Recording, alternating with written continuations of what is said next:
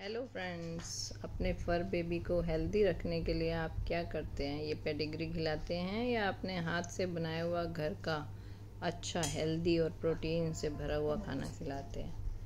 आज हम आपको प्रोटीन से भरे हुए खाने की एक रेसिपी देने जा रहे हैं।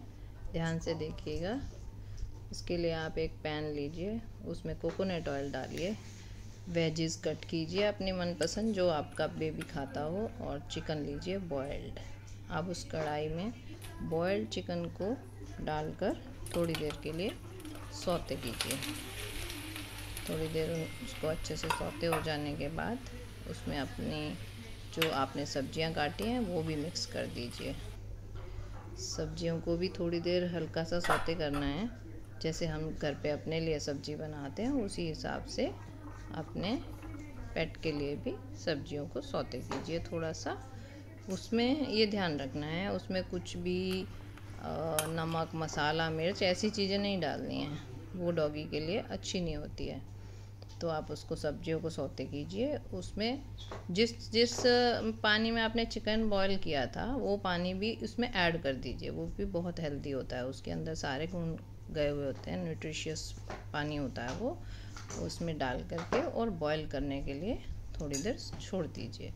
अब चिकन और वेजेस जब बॉयल हो जाएँगी, अच्छे से उनको बॉईल करिए सॉफ्ट हो जाएँगी, वो बॉयल हो जाएँगी। पाँच मिनट का समय ले ले लेंगी। उसके बाद उसे गैस को बंद करके बर्तन को नीचे उतार के रख दीजिए और ठंडा होने के लिए छोड़ दीजिए। जब सब्ज़ियाँ ठंडी हो जाएँगी तो वो मिक्सी में आराम से क्रश हो पाएँगी ग्राइंड हो पाएँगी।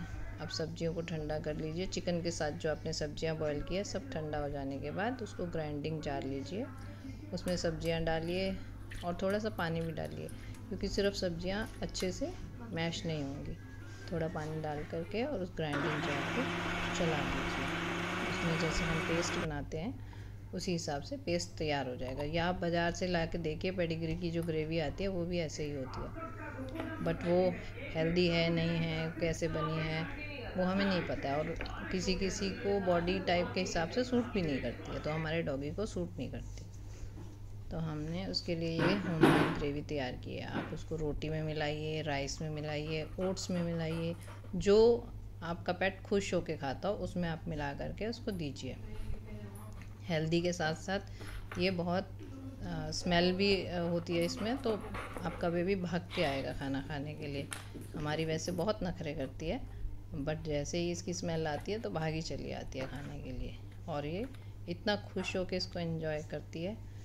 हाँ ये होता है कि गर्मियों में ज़्यादा नहीं दे सकते हैं इसको।